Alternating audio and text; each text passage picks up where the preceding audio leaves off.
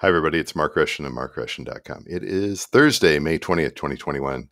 And this video is called How I'm Trying to Get Better at Writing Playlist Submissions to Spotify for Artists.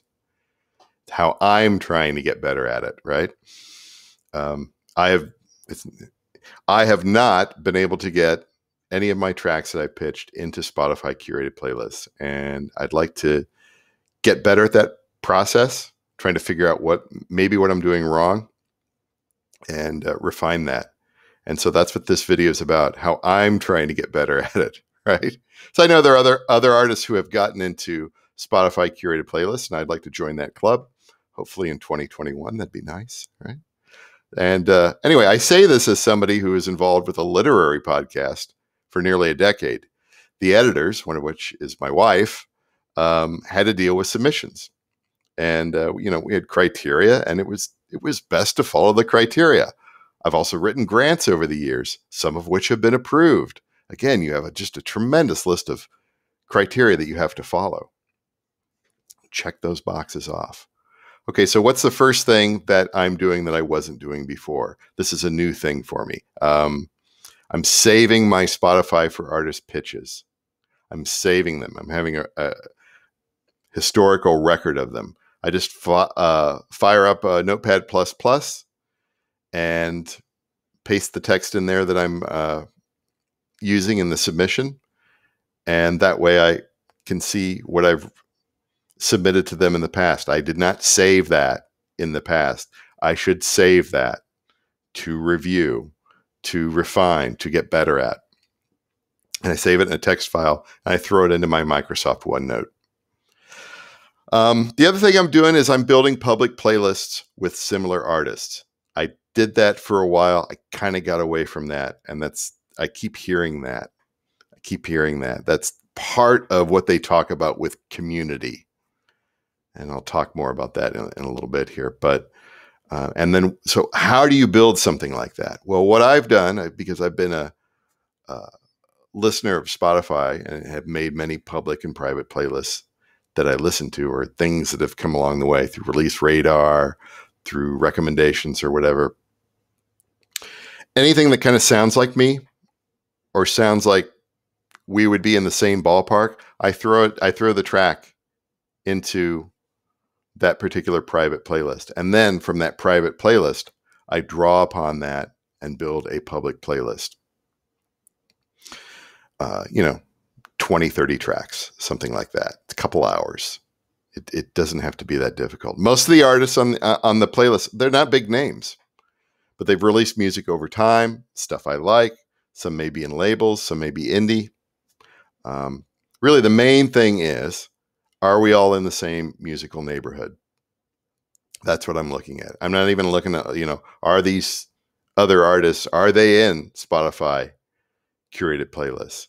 I, I I don't really know if I really need to go to that level of effort here. So it's just trying to, you know, who do you sound like, right? Who do you sound like? And and uh, not super famous people or anything like that. Doesn't have to be that way, uh, because you know, again, I'm indie, ambient. I'm you know kind of on the margins, right? I'm in the niches. uh, so yeah, are we in the same musical neighborhood? The next thing that I'm concerned about here is what is Spotify's criteria? What are they looking for? And they tell you right here. They tell you right here. Uh, when you're pitching to us, bear in mind that the editors love to learn about context and community. Give us the who, what, why, when, where, and how of your song in 500 characters? Who made it with you? When did you make it? When, uh, why did you make it? When was it made? Where did you make it? If there's an interesting story around you or the song, please let us know. The music is key, but context is also extremely helpful to us. Whatever you do, we encourage you not to leave the note blank. The more information we have about the song you worked hard on, uh, the better and of course let you know about your promotional activities as well i think I've, i think i've got that one down you know i talk about uh, i've not talked about release schedules but i do talk about how I do put all these tracks in playlists that I curate. And um, I also try to list similar artists in there as well. Uh, again, just trying to throw all that into the agenda. And that's hard. That is hard to do because you only have 500, I, I believe it's 500 characters. So you really have to be um, careful with, uh, with the, the space that you've, you've given. You have to be really, you have to, again, you have to go through this. Check, check, check all the boxes off. Check the boxes off, right? So you're going to have to learn to write.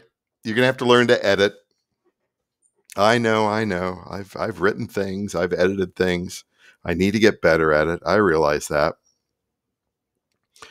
And the the final thing here, the final thing here. Let's go back to uh, let's go back to uh, let's go back to my website here. We'll hide that there because I'm live, right? The last thing that I do is that I'm starting to schedule my tracks more than a month out. You know, they always say, you know, you got a week, you can do you do do it in a week in advance. No, I'm not gonna, I'm not doing that any. That has not worked for me. Not that I did a week in advance. I would do two or three weeks.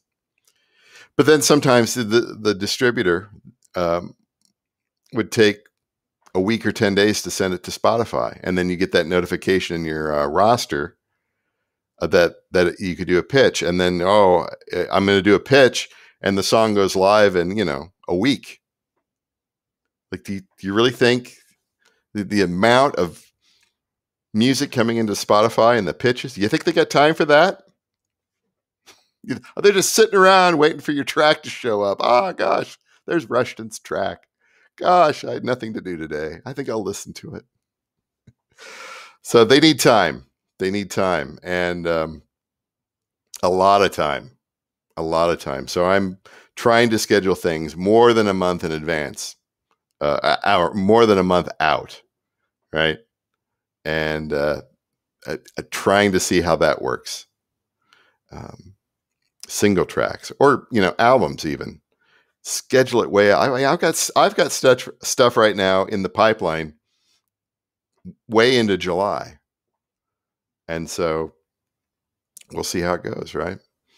Anyway, that is it for today. How I'm trying to get better at writing playlist submissions to Spotify for artists. I guess it's on the bucket list for 2021. It'd be nice. It'd be nice to get one. It doesn't even have to be a big. It doesn't even have to be a big playlist. It'd be it, it'd be nice to you know just a small playlist with you know just maybe just a few thousand followers. I know they get the some of them out there have hundreds of thousands, millions, or whatever. I just one of those little nichey ones, the weird ones That'd be nice. That'd be fun. anyway, that's it for today. I'm Mark Rushton at markrushton.com. Join my mailing list, follow me on Spotify, and uh, we'll talk to you another day.